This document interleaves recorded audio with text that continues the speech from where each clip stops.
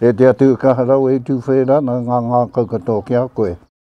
E mohi o te ana ngā he he kore hoki ngaro i a koe te mea huna. Whakahange hau tō wairu tapu.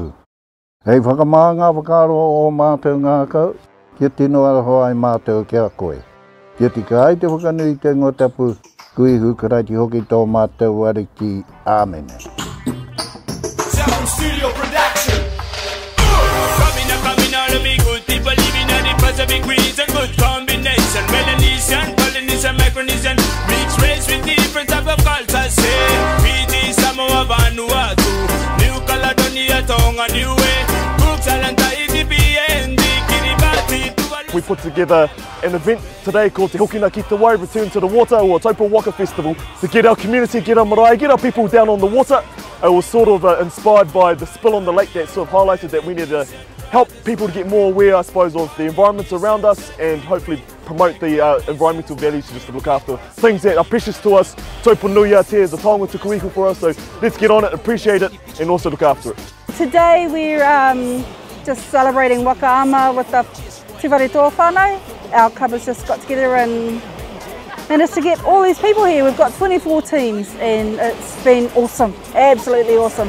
The main purpose was getting people in Te getting the iwi together, getting them down here, getting the businesses involved um, with the iwi, getting people on the lake. So our title is Te Hoki Ki Te Wai, um, which means coming back to the lake. That's right, stand tight. Melanesian, Polynesian, Micronesian legacy. True shaking dynasty. The conditions in the lake is perfect today. It's, it's flat, it's sunny, there's no wind.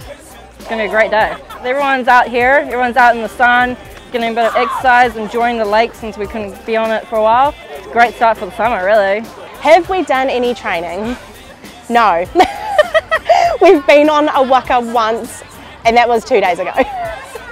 the highlight of the day has been just seeing everyone, seeing all the, the people that have turned out is really cool. Just having fun together and getting out as a team because it is a good team building experience. So yeah. good whakapapa together. Um, awesome day journey out for our young tamarikis and getting our Maro name out there and yeah, representing us. Beautiful. Yeah, not too rough. There's no white caps out there. Pretty smooth. And the wind was behind us too till we got down the far end of the buoy and had to turn around and we were facing into it. With a whole new era, I'ma tell her we've been changing like the Big Bang Ice ever. Navigating from the stars, see the world on another level, island level. Culture beats like a nickel train to Sonic hits. We roll the damn ocean like a bunch of 50 feet. Great whites, that's right, stand while we had awards, it's always sort of made them funny awards, you know, like Kawai Te Marae, because we know our, our marae's like, like getting one one up over each other. So it's good to get everyone down here, just have a good time, play some music, cheer each other on, and just keep it a real positive top environment. So today's not about winning or losing, it's about working together and creating that like friends and family vibe, and enjoying the time we have and maximising it with each other. In Waka Ama, we've got teams from college age right through to over 60 year olds, so to kaumātua paddling, men, women, kids. Just, it's really just neat just getting out on that water again. It's a good all together, coming all as a one, uh, representing like who, where we come from, uh, all the Maro, Nikaho, Pakira, Marae and all them. Um, and hopefully we'll do it again next year and we'll be back. Awesome. We will definitely be back next year. But but with more training. Brothers ride with me.